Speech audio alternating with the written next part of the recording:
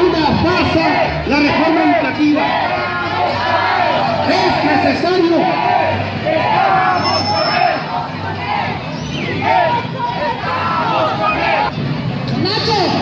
cualquier líder baja con su pueblo y nos ve a la cara, no de arriba, somos iguales.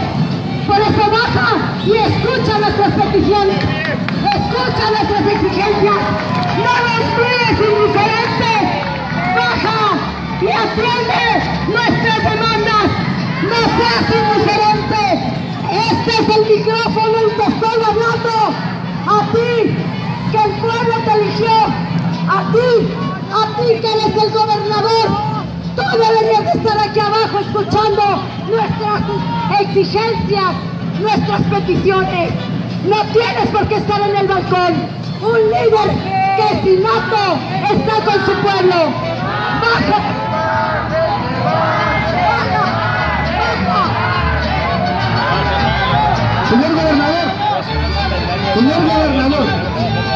Le atentamente que nos atienda. Aquí podemos platicar, podemos dialogar con respeto. O si no, el desdén que nos está haciendo usted quiere decir, no nos vamos a mover. Si no bajan a escuchar las peticiones que tenemos, no nos vamos a mover. Aquí nos vamos a quedar.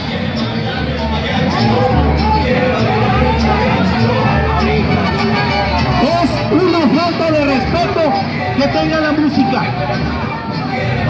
Deben de escuchar todas las voces, porque deben de exigir en un gobierno democrático la pluralidad.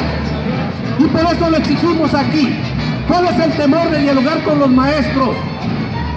¿Cuál es el temor de escuchar a la clase trabajadora? Nosotros no vamos a marchar con la cabeza abajo, jamás de los jamases.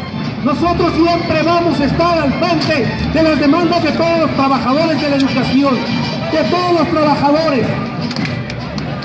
Es necesario que lo entiendan.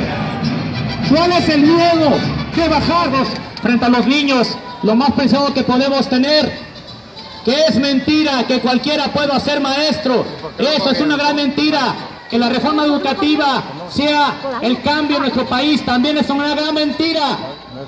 Los maestros en Colima no le tenemos miedo a la evaluación.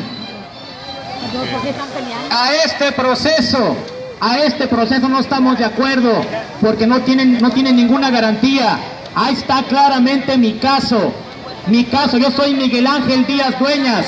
A mí sí me imputa que yo no hice ninguna, ninguna de las evaluaciones. Yo ya entregué mis pruebas en la Secretaría de Educación, ya las entregué. Estuve exigiendo desde el 15 de marzo, le estuve exigiendo al secretario de Educación que me respondiera por qué razón se me retuvo el salario.